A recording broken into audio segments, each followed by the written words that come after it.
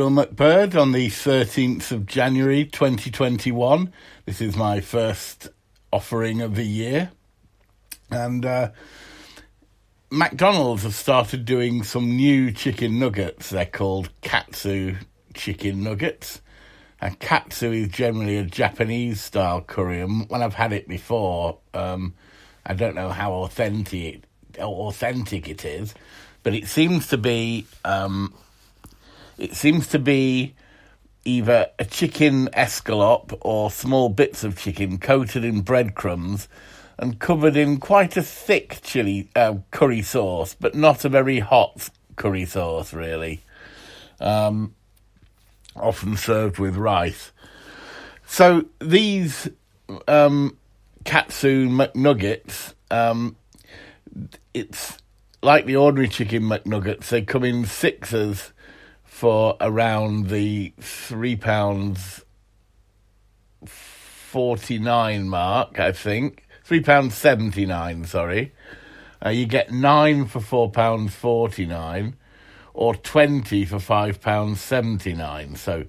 20 was clearly the way to go. I thought, well, I'll get them down one way or another, whatever they're like.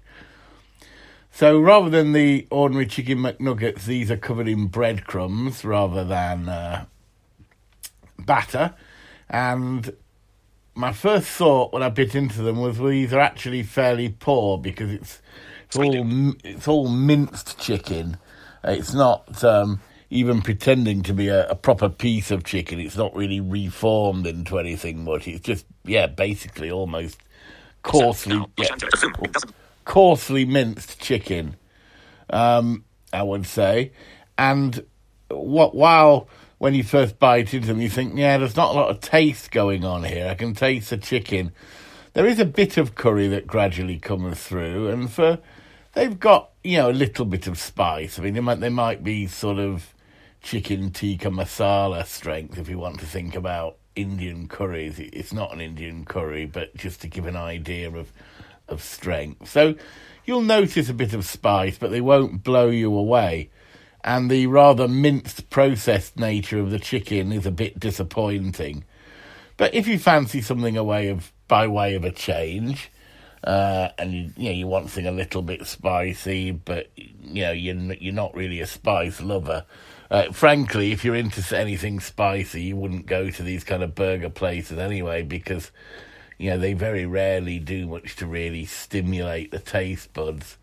Um, a while ago, McDonald's did do a uh, a spicy jalapeno quarter pounder, which wasn't bad for them actually. Um, it's still not going to blow your mind away, but at least it did have a bit more spice than the usual. We're back down to hints of and strong suggestions of, though, really, here with the katsu nuggets. Um, if you're in a McDonald's and you're bored and you want to give them a try, certainly give them a go. You know, the fact that they're covered in breadcrumbs gives a, a pleasant change of texture. But I would like to see them do something a bit better with that chicken and make it, you know, more like a a proper piece of chicken rather than just lo- a load of chi- chicken mince mush. So mm, I'm going to give them they're not altogether poor. I'd probably give them about five and a half out of ten. Um, try them if you're passing, but they're not really worth making a special journey for, I would say. Telephone box Wednesday, is nice of it. Wednesday the 13th, press home to open. Button. Recorder HQ. Heading. File list. Stereo. iPhone microphone. Minus 6. 6. What? Pause. Button.